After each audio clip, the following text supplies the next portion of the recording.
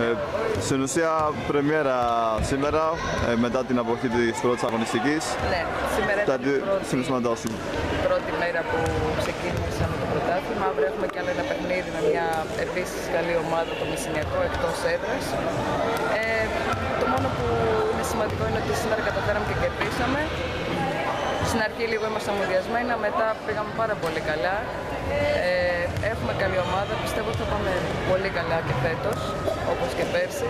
Εγώ είμαι χαρούμενη γιατί μετά από ένα σοβαρό τραυματισμό που είχα κόψει το πρόσχεδιαστό, είναι η πρώτη φορά που παίζω φέτος και έχω κάνει πολύ λίγες προπονήσεις και πιστεύω ότι αυτό που έκανα σήμερα ήταν πολύ καλό και είμαι ευχαριστημένη.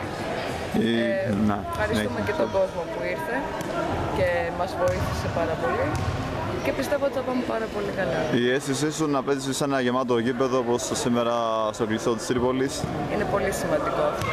Πιστεύω ότι όλοι οι αθλητές που κάνουν μια προσπάθεια θέλουν να έχουν τον εύκολο παίχτη ας πούμε, στο βόλεϊ που είναι ο κόσμος.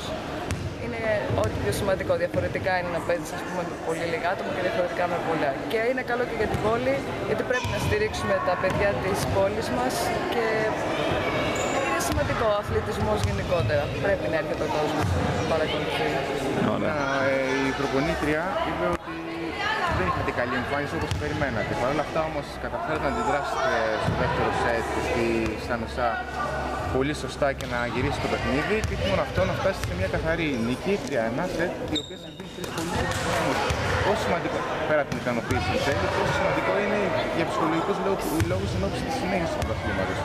Κοίταξε να δεις, θεωρώ ότι η ομάδα μας έχει πάρα πολλές καλές μονάδες. Απλά ήταν το πρώτο παιχνίδι της αγωνιστικής περίοδου. Είναι δύσκολο, υπάρχει το άγχος μέχρι να βρεις λίγο το ρυθμό σου. Ναι, μεν έχουν γίνει κάποιες προπονήσεις.